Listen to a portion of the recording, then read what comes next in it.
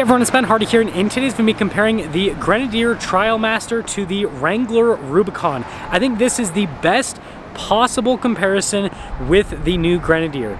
Before we get in this video, I want to give a huge shout out and thank you to the Ineos Grenadier here in West Valley, Utah for giving me some time with this Trialmaster. This particular one is available for sale.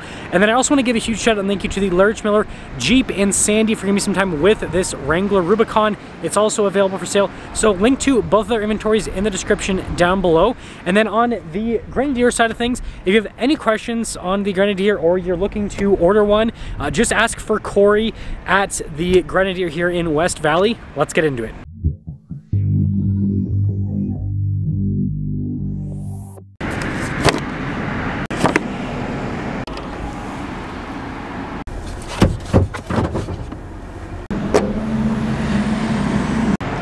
The Wrangler is the 4xe powertrain, so it's a 2-liter turbocharged 4-cylinder that's paired to a hybrid system and an 8-speed automatic transmission. It puts out 375 horsepower and then 470 pound-feet of torque. Now there are a bunch of powertrain options available at the Wrangler. You can get a 6.4 liter V8. 24 is the last model year for that, by the way. Uh, you can also get a 2.0 turbo non-hybrid, and then you can get a 3.6 liter V6. I think this is the most comparable powertrain to the one in the Ineos. Speaking of Ineos, we have a turbocharged 3-liter inline 6 that goes through an 8-speed automatic transmission. It puts out 282 horsepower and then 332 pound-feet of torque.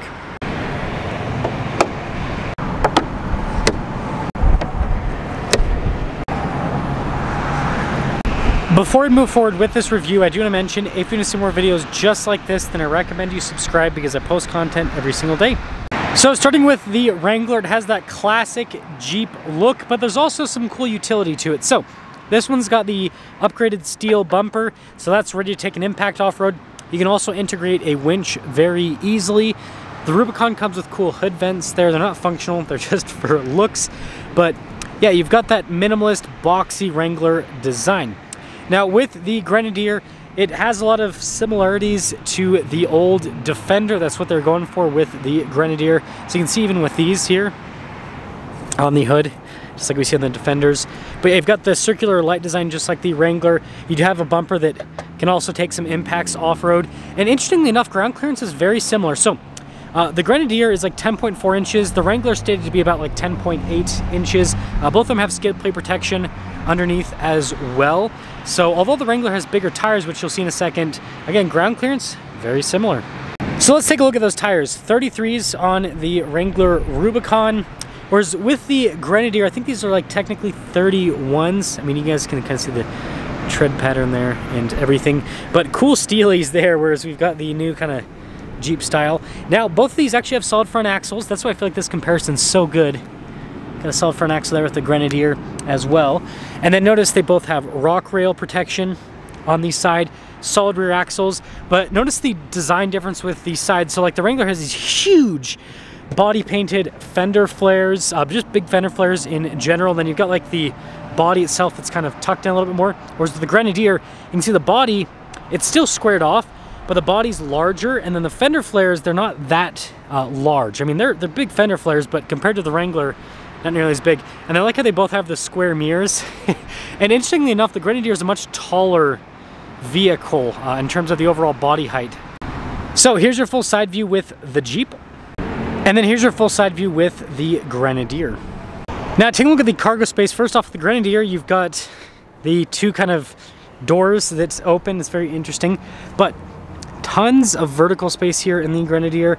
And it's also pretty wide in the back as well. So just a very spacious cargo area. Very similar to like a 200 series Land Cruiser. The Wrangler, it's still got a box design so you can see it still goes up pretty high.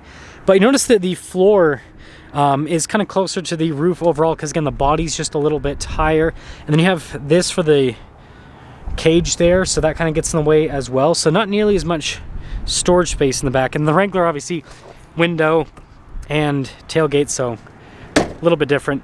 So finish things up with the rest of the rear, even though they're somewhat similar in terms of length, uh, you can see there's a big height difference again with the bodies of the vehicles. Because, I mean, look at the, the bumpers here. I think this really illustrates this. You can see the bumpers here in the back.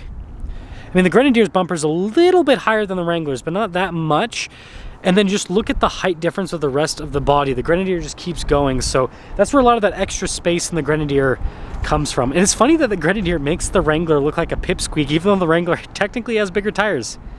Now in the back of the Grenadier, legroom here is great. Uh, really tight fit and finish with the material use with the Grenadier, and then like such a solid sound with the closing.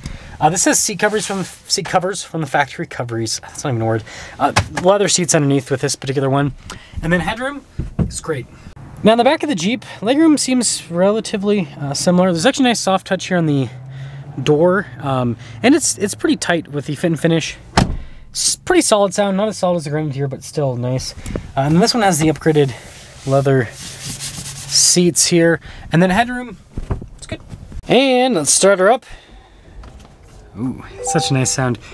So with the uh, Grenadier, the most important thing, has the toot function, uh, but really premium looking and feeling steering wheel. And you can see you've got normal practical controls all around. The infotainment system does contain uh, speedometer, all of that, RPM, so everything is here in the center.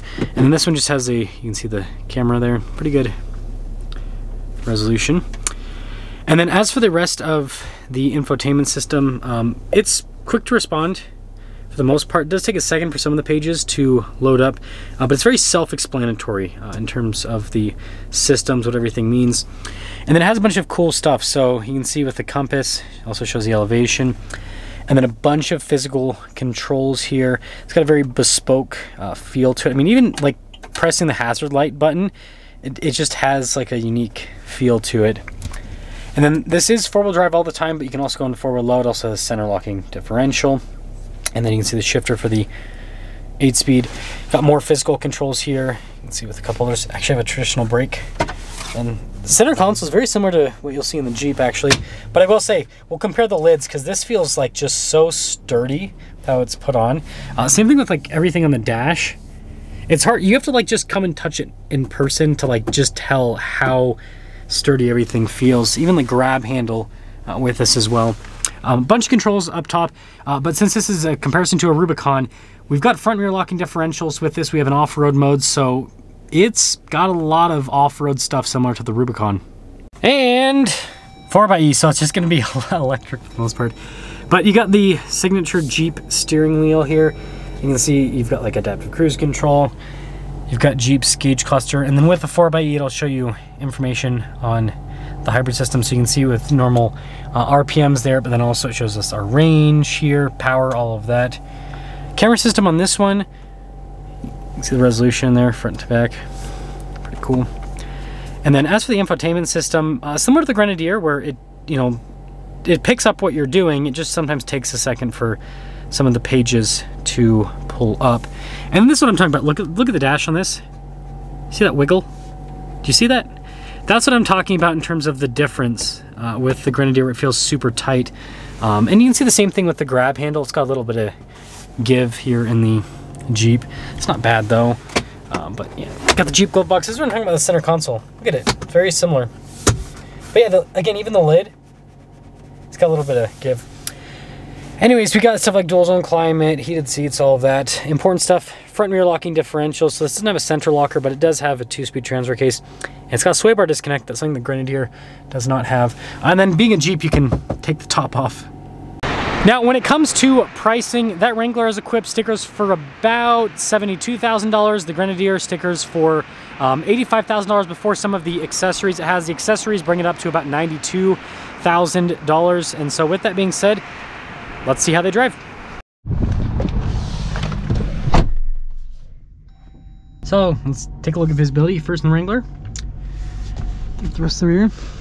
And I will mention at the beginning of this comparison, if you guys want me to bring a 392 down to compare, I can. Uh, if you're wanting to see that. Because I understand there is, you know, with the Grenadier like that, that's loaded up like that, it's it's relatively close to a 392 in terms of MSRP pricing. So yeah, thought I'd mention that. But I think 4xe is the most equivalent like powertrain wise. Even though that's not a hybrid, just in terms of how this develops power and everything.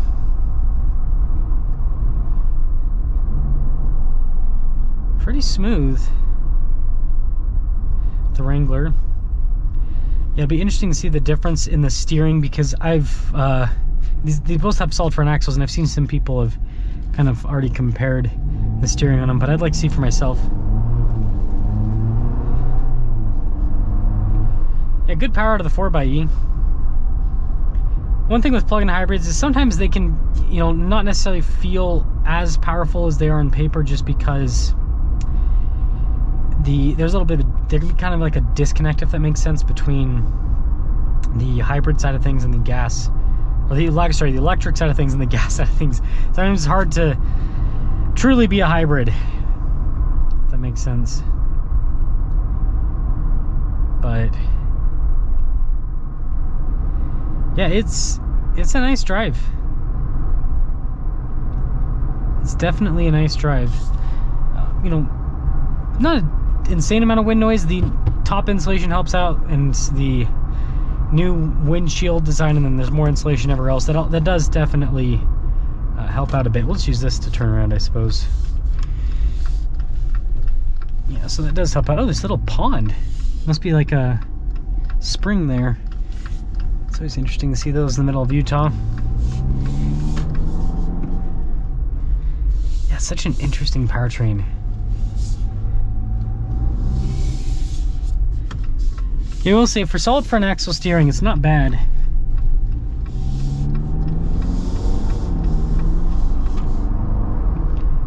Yeah, again, the power is good. But you can see there's still a little bit of vagueness with the steering. So, it drives like a Jeep, it drives like a Wrangler.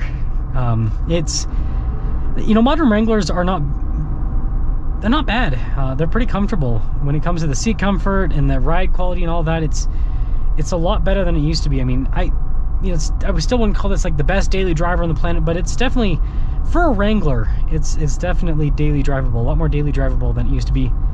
Let's pop into the Grenadier.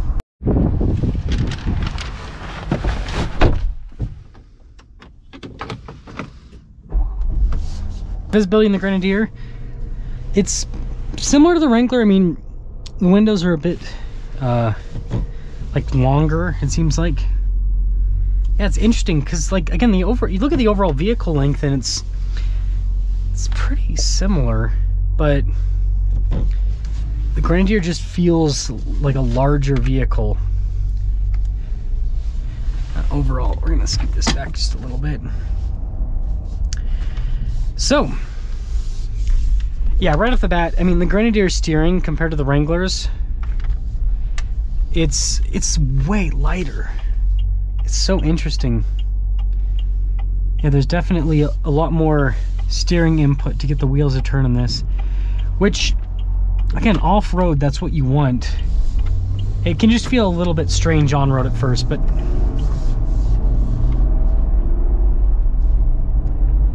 it's not bad. You know, this doesn't have nearly as much power torque as the Jeep, but how it delivers the power, I think it feels a lot more natural. So with the Wrangler, here's what it feels like is you get kind of like an instant push from the electric side of things. And then it takes a second for that little two liter turbo to spool up. Once it spools up, you get like a second push. This, on the other hand, it's just like, boom, torque. Pretty straightforward. It's nice. Now, when it comes to noise insulation, the cabin's a lot better it's doing the thing that everyone's talked about, the clicky thing. Um, anyways, the the cabin's a lot better, but what I will say is the this has like the roof rack and everything that does create some like you can hear it up top. That's every roof rack ever. Uh, that's like one reason like on my Land Cruiser I took off the uh, roof basket that comes with the Heritage because I'm not using it right now and it just makes makes uh, for some wind buffeting. So there is that. But when it comes to the ride quality difference, this doesn't, uh, so I wouldn't say that one is necessarily more comfortable than the other. This feels really good over bumps. I would say that this does a better job than the Wrangler over bumps. On smooth pavement, somewhat similar. The Wrangler's more kind of wishy-washy side to side. This, it feels more planted. Which is, it's funny because the steering in this is very light. So like the steering in the Grenadier is kind of more side to side, whereas the body of the Wrangler is more side to side. So it's just, just choose your side to side. I know same thing when I did the Bronco comparison.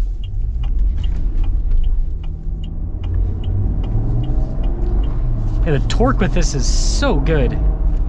It really doesn't feel like, again, you hear the power figures, big heavy SUV sub 300 horsepower. You think it's going to be, um, I don't know, you think it's going to be quick, but it feels feels adequately powerful. But th this B58 powertrain from BMW has always been that way. So, yeah, to sum things up, Grenadier compared to Wrangler, here's here's what here's what it looks like. This is essentially the same compared to the Rubicon when it comes to off-road capability, ground like all of that's basically the same. So this is like a Rubicon, but it's I would say more comfortable with like the seats. The interior is more spacious. It's got more cargo room, and it feels more solid, better built. Like this doesn't wiggle like on the Jeep dash. So it just it just feels like a much more solid vehicle. It's kind of like a Rubicon had a baby with a G-Wagon. That's that's almost what the Grenadier is like in a way. But let me know if you would go uh, Wrangler or if you'd go Grenadier.